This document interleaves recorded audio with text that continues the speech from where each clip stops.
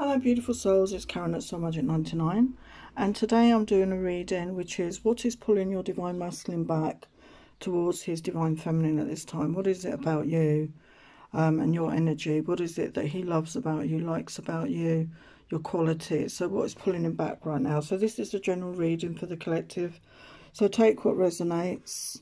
So thank you so much for watching, liking, sharing and subscribing. Please press the like button um, so more people get to see the videos. And I would appreciate your subscription. That would be great. I'm trying to grow my channel. But thank you everybody for watching. So let's get on with the messages. So what is pulling your divine masculine back? So he sees his divine feminine as someone very spiritual. You could meditate. You're highly intuitive. And you may have known things about your masculine that he didn't know how you knew those things you're very charming. You could be very good with people. You get on with all people. You know, you're very calm in energy. And you're just good company to be around. He does see you as his divine feminine, an empress. He sees you as someone in your power, someone abundant, abundant, very nurturing, and he realises that a lot of people will be attracted to you. And again, I feel that's part of the reason he may be on his way back because he's going to know that you won't be on your own for long, you won't be single for long in this energy because you will attract a lot of attention in that energy. He sees you as very beautiful, you're stunning, very attractive, but it's not just externally. He sees your inner beauty as well. He sees your soul.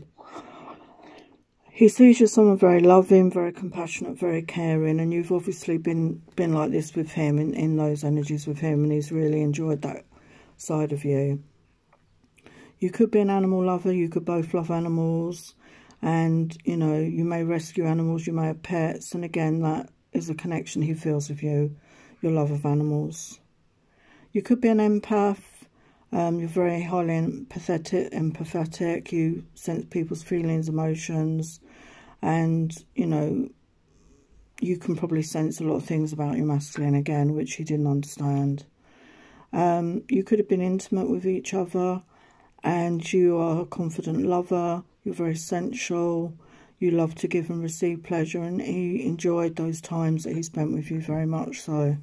There's a lot of passion between you. You're very thoughtful, you help others, you're the sort of person that helps anyone, you know, you think of others before yourself very often. So again, these lovely qualities. He sees you as somebody who's very adaptable in your life. You could have been through a lot in your life. You could have had a lot of changes in your life and he sees how adaptable you are. You overcome these things and you just work through them without much of a fuss. He sees you as someone very wise. Again, you've been through a lot in your life and he admires your wisdom. He does respect that about you. He could see the connection as being very abundant. He, he, he feels that abundance with you when he's in your company, that loving, abundant energy and he thinks that you are a very lucky person, you know, in abundance, or that you're good at creating, manifesting your own abundance. And he wants this sacred unity with you. We've got this beautiful rainbow here. So he does feel this connection, this divine connection with you. And he does see you as a goddess. You know, maybe he's put you on a bit of a pedestal, um, which isn't always a good place to be um, because then in that way he's putting himself down. He may not feel worthy of you or your your love. And he sees you as somebody who's very nurturing, you're very kind. As I said, you're very caring and you've nurtured him at times and he's felt your nurturing energy and he's really missing that energy right now, I feel. Yeah, he wants that harvest with you. He wants to have that abundance to, you know, the seeds, you've sown the seeds of this connection and he wants it to come to that fruition. He wants to harvest with you. And autumn time could be significant. I've had that come up in a few readings, so that could be a significant time for these connections. And he remembers the times that you shared, the great pleasure you had with each other, you know, in and out of the bedroom. He enjoyed your company very much. Yeah, he sees you as someone very moral, you're somebody that you know, does things for the good of people, always thinks the best of people. You know, you're not a negative person. You try and be positive and are a positive influence on other people. And he loves that about you. He sees your uniqueness, your individuality, and again, this is something that makes you stand out from other people. He's known. He sees probably never met anyone like you before. He sees you as someone very unique, very individual, and he loves that about you as well. Yeah, but he has love in his heart for you. You know, he may not have told you this, but this, you know, this is confirmation for me that there is love here between you. He is feeling that love for you. And he has passion for you. You know, we saw that with the lover card there. There's a lot of passion, a lot, a lot of love and desire between you. You could have had like really hot sex, very, you know, sexual. The flames of passion were lit when the two of you come together. And again, you know, confirmation, he does see you as his divine counterpart, his divine feminine here. And he sees you in that abundant energy. And we've got all the stars, I think, uh, around her. I feel he does see you as a wish fulfillment. But again, he may have put you on a bit of a pedestal, may think that you're out of his reach. But he sees you as someone very magical. Some of you could be white witches as well. Some of you could be tarot readers, psychics, you know, healers you know, there's something magical about you, and he, he is intrigued by that. He wants to know more about that. Yeah, he, he thinks you're one of the most caring people he's ever known. And he misses your soft kisses. The way you kissed each other was magical. And you were great in bed, a very skilled lover. So if you've been intimate with each other, they very much enjoyed your skills there. Uh, and if not, they've been fantasizing about that. And again, you know, they see you as someone truly beautiful inside and out, basically. And so compassionate as well. They love the fact that you're so compassionate for others. And you have a beautiful smile. They love the way you smile. And you are very great. You give really great cuddles and they're missing your cuddles and, and that closeness with you right now. They miss your sexuality. They, you know, you're sexy, confident they've got these feelings and thoughts and they want to take action with you. They want to show you in the bedroom how much you mean to them. You know, they enjoy tasting you and you enjoy tasting them. They miss that intimate loving with you and they want to have these sensual delights with you, try new, try new things with you in a sensual way. They felt very passionate, they felt very aroused. You know, you could have aroused them more than anyone else. They're desiring and wanting you right now and they want to show you their love. They want to embrace this love and just let it take them over and, and show you how much you mean to them. And it's not just about in the bedroom, they want to love you with their clothes on. It's not just about that sexual intimacy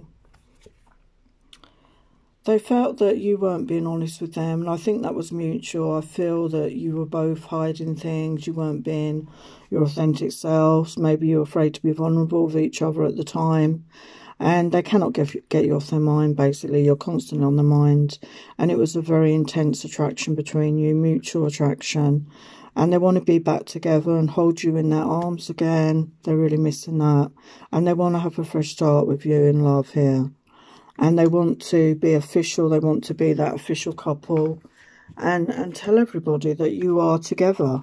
Um, because I think they have that fear that there could be somebody else coming in to snap you up because you're in that divine feminine energy. Yeah, they let you go and they're regretting that now. They're really regretting letting you go or vice versa, okay? Um, but sometimes we need that time apart to do that healing work, to do that inner work because being in your energy felt like home to them. You felt like home wherever you are feels like home to them, and they could have had past life memories of the times that you shared in the past. And again, they're missing that se sexual, sensual side that you shared for some of you, and they really enjoyed that time, and they want to explore more of that with you. They really do. And they love the way you're so creative, and you might have triggered them. They may have triggered you with your creativity.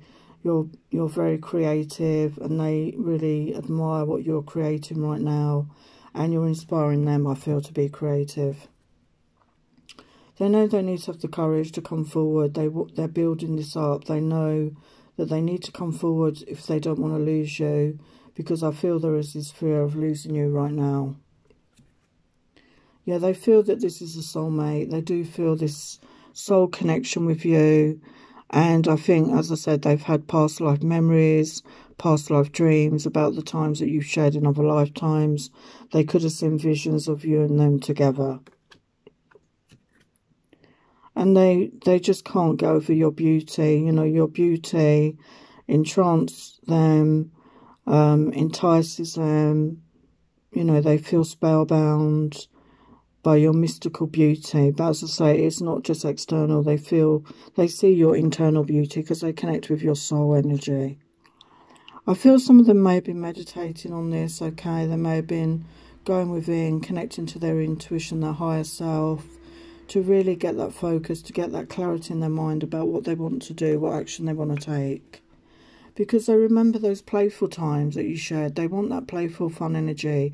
Everything had got really serious between you, and obviously, these readings are for people in separation, no contact. So, you know, there's that lack of communication. Um, things may have got very difficult between you, you know, not in a good energy. And they want to bring back that playful, fun energy that you had at the beginning when you first met. And they know the differences between you can be worked through because they feel that opposites attract and that you do balance each other out the yin and the yang, the positive, the negative, the dark, the light. The differences is part of the attraction for each other. That is what attracts you to each other. Your differences, I feel, more than anything and that moon energy we've got that eclipse energy tomorrow and the energy is very happening now basically and this moon energy is going to trigger something you know it's very powerful solar eclipse energy here and I feel their feelings are going to start coming to the surface if they haven't already and they're going to want to act on these feelings. Because they're seeing visions of you. They see you in their mind they see you in their dreams they you know when they close their eyes when they're awake they see you. You know they can't get you out of their mind. We've got aphrodite here. They see you as a goddess. As i said they've got you on a bit of a um, pedestal there could be some sort of tower moment this always reminds me of the tower moment it's chaos something's going to come in to really shake up this connection shake up your worlds individually so something's going to happen out of the blue possibly quite sudden sudden change yeah, because they're wishing for you. They're wishing for you to come back, to be back together in each other's arms. And this could be both of you. You're you're wishing on a star. You're trying to manifest each other back. You want to be back in each other's arms. I feel that is mutual energy. They see you as this high priestess of air, um, somebody very intelligent, very um, much a match to them with their intellect. They can see you as someone very mystical. You know, you're somebody very much in the heart space, but you're also very intelligent. You have a really interesting mind, uh, a mind that's creative, that searches for the truth, and that fascinates them about you. And you're a very good listener. When they've been with you, you've listened to them. They may have been going through some stuff, and you were a really good listener.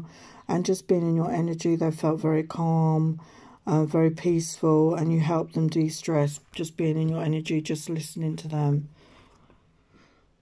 And they love your confidence, you know, the way you are. You're confident in yourself and your abilities and the way you are in the world. And they want to be in this confident energy as well. They want to come forward in a confident energy. So they're trying to get into that confidence in their own lives, in their own being, to know that they are worthy, uh, deserving of your love. They want to be that warrior of love. They want to come in as your divine masculine, to be that powerful masculine, to be that supportive, loving partner that you deserve. They know you, you deserve nothing less, and they want to be that warrior of love for you. Because they want that fulfillment with you, they want that abundance, they want that love, um, you know, that abundance in home, family, finances, in in love in all areas of their life they know they can have this fulfillment with you so what are their feelings? So they've they've been in a nervous afraid energy um, because they know they need to come forward but they've been a bit fearful about it. They've been spending time alone really going within as i said with their intuition their higher self really connecting with what they want. Yeah they've withdrawn a lot from the world. They may not be interacting much with many people and they're hoping that you will forgive them and they're working on their own self-forgiveness at this time because they want that satisfaction with you. They want things to be good between you. and they're coming into good self-esteem. They're working on their solar plexus energy and they're missing that sensuality with you. Your your beautiful loving sensuality. They want to be in your arms and and really connect with you. And they're feeling the love. You know it says under the light of the silvery moon i feel love's bloom love is blooming within them their love is blooming it's coming to the surface and they're seeing signs and symbols all the time. I feel your guides and angels are really directing you back together. They may be seeing white feathers a lot. They may be hearing musical numbers like songs that connect you to. They may be seeing numerology numbers, angel numbers. And we've got the energy of lure. I feel you're both feeling that pull back to each other. You know, this is that energetic pull back to each other. There's nothing you can do about it. And then we've got the coming together. So New feelings are emerging and you're seeing someone in a new light. What was not there before, whether felt or, or not yet known, is making itself known for you. So this person, you may have been the one that had the feelings or admitted your feelings and this person didn't, okay? But they're starting to have those feelings and they're going to come to the surface and they're going to want to express it to you. So just trust, we've got dreams that are coming true. Release the past. If you have a conversation with this person. You know, maybe talk about that, but don't bring the past into your present energy. Let it go. Just work, you know, work through it, talk about it, but release it, okay?